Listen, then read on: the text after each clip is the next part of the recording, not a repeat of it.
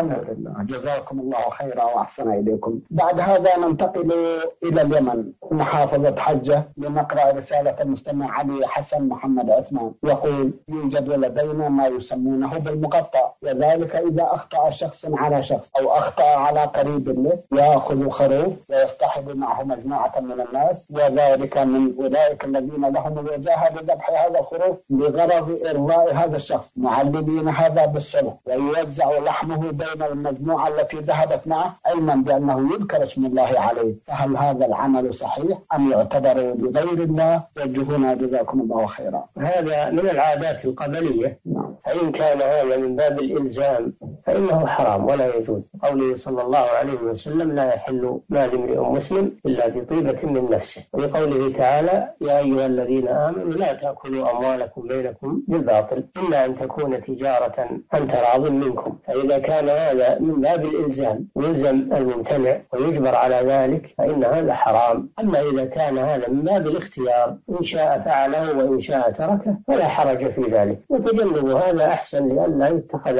آه، وسيلة وذريعة يلزم بها الناس. نعم.